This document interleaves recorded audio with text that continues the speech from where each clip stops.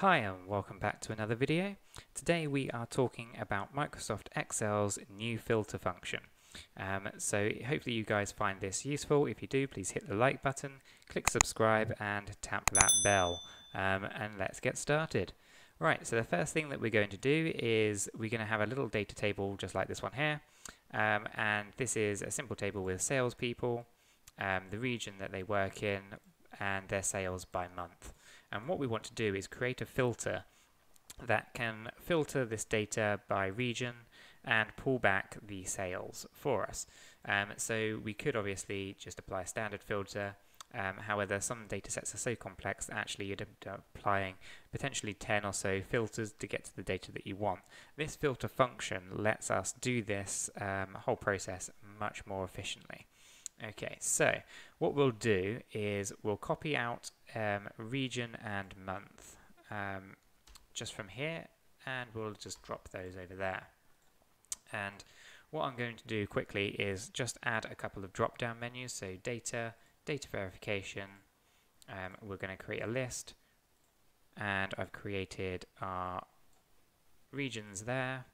And I will drop another data verification list um, in my lookups for the months. Okay, so what we'll do first is we're going to create a filter function that filters our data set by the region of England. Um, so to do this, we're going to open up filter, and it's a three-part function. The first part is the array, the second part is the criteria, and then the last part is a um, capture all if it can't filter for whatever reason. So for the first part, we want to select our entire data range all the way down. We can't include the headers, it only has to be the, the actual data itself. Um, and then we want to say, okay, we want to filter the region, so the include is include the region part of the, the data, and it has to equal England. Okay, so what we've done here is we've selected our data, we've then selected the range that needs to be filtered, and then we've given it what we want to actually filter it by. Okay, so that looks like this. We'll press comma, and then what we'll do is we'll open up a couple of quotations like this, and then type in not found. And basically what that'll do is that will let us um, basically apply an if not found uh, scenario. So um, for example, that's the data filtered by England, um, and if it couldn't find anything, it would have said not found. Okay, so this here, as you can see, is all of our data filtered by England. And because this is a drop-down menu, we can dynamically change it to Wales to Scotland. Okay. Now, I've added two criteria. So, how do you do that? We come back into our filter. So I'm just going to um, delete this one and start again. We'll go and choose a month of March and our filter will look like this. We'll go equals, filter, open bracket. We'll select the entire range, comma, and our first criteria, which is the region. So we're going to select the entire region range, and we're going to say that has to equals Scotland.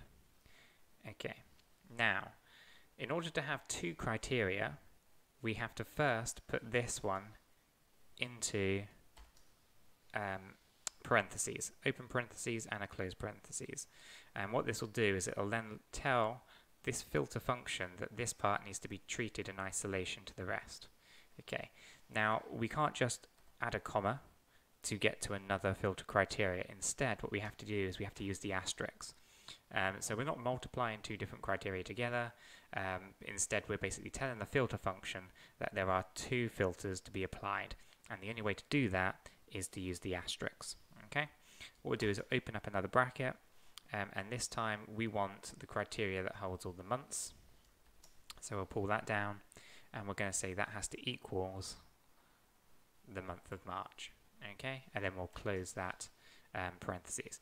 So here what we have is the filter, open bracket, the entire range that we're trying to filter, comma, open bracket, the first filter range and the criteria that we want to filter that range by, close bracket, asterisk, the second criteria, so open bracket, the second criteria range, which is a list of months, um, and it has to equals the month of March, close bracket. Um, and then what we're going to do is just add that um, catch-all at the end, so not found um, in, within quotations, and then just close off um, with an end parentheses. If we press enter on that, we can now see there are two results found for our criteria of Scotland and March. And obviously we can change these months and change the um, region. And it's as simple as that. Now we can obviously take this one step further. So this particular function looks quite messy um, like this. So you know we have a lot of various ranges going on. It's not the easiest thing to read. So what we can do is actually take our data source here and convert it into an Excel table. Okay, so the easiest way to do that is just go to the Home tab and um, format it as a table. Just select the first option, has headers, and there we go. So now what we have here is something called Table 2. And what we can do is delete our filter function. We have our criteria still, so we're going to still use those, um, with the exception being that our filter will look slightly differently.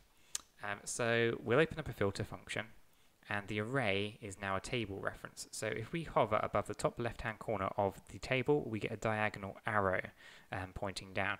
If we give that a click, it will then automatically select that entire table and drop it into our filter array. Um, we'll hit comma, and now what we want to do is we want to include the entire region range and make it equals England, right? So to do that, we'll hover just above the um, region um, field and select the entire region range. And what this has done is it's dropped it straight into our filter as table 2 region. Okay, and then we're going to do is equals F2 England. Okay, and obviously we could type that in, but we want this to be as a drop down menu. Okay, um, what we should have done is actually added brackets here because we want multiple criteria. So we've now put that inside those um, parentheses. We'll add the asterisk, open up parentheses, um, just hover above the month of March in the dataset, give that a click, and we'll pull in the table 2 month, um, and we're going to make that equals G2, the month of April, um, close the bracket, um, press comma, and we're going to do the catch-all at the end, um, called not found, and we'll close the bracket off and press enter. So we're pulling back the exact same results. The difference is that the function actually is a little bit more readable. Um, so it's easy to see exactly what's happening. Um, but also we can add data to our data set without having to readjust our filter ranges. Um, so dynamically, um, this is the best way to actually go about doing it. And there's a, a huge movement more towards using Excel tables rather than just dropping raw data into cells. Um, when you use it as a table, you can pick it up within um, SharePoint, within Power BI, and there's a lot of other cool functionality that you can do with the tables themselves um, that you just don't get just by dropping the data into the cells randomly.